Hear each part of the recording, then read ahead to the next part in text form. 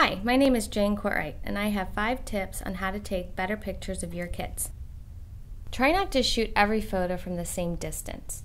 Move in close to capture tighter shots of hands, faces, or eyes. Also, try shooting from far away to include the background. The best time to take photos outside is during magic hour, which is the first or last hour of sunlight during the day.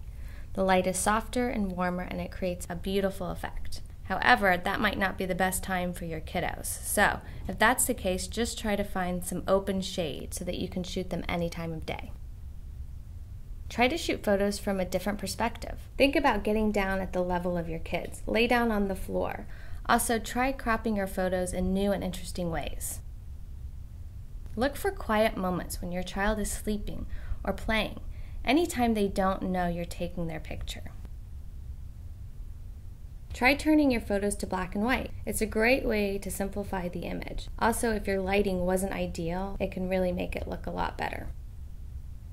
Remember, just like everything else, the best way to improve the quality of your photos is to shoot as much as you can. Thanks for watching.